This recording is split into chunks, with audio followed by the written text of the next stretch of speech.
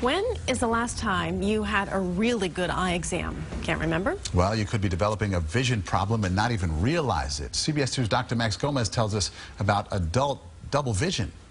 When um, I was looking at TV, there was actually two pictures that I was seeing there until I moved my arm in front of my eyes and saw that there was the pictures were aligned differently. Jonathan Good is no stranger to eye problems. He's had an infection, detached retina, and cataract surgery.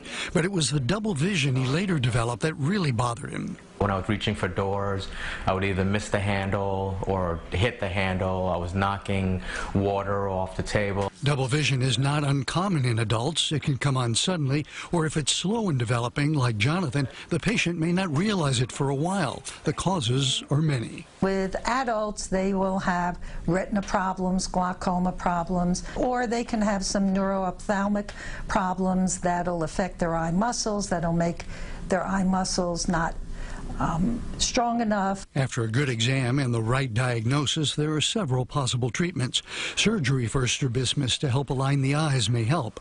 Prism glasses can also help bring two images close enough together for the brain to fuse them. And eye exercises can also train the brain and eyes to work together. But for some people like Jonathan, it's learning to ignore one of the images.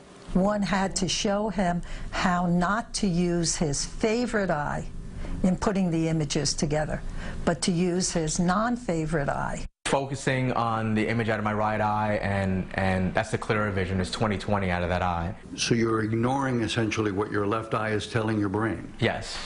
Yep. Now, that technique is similar to what many people do when they try monovision with their contact lenses or after laser eye surgery. One eye is corrected for distance and the other for reading. But again, the key is a good eye exam. For middle-aged adults, that's about every one to two years, and that's probably a lot more often than most people actually get them. Why are you looking it up? Uh, no reason at all. Thank you. Thank you.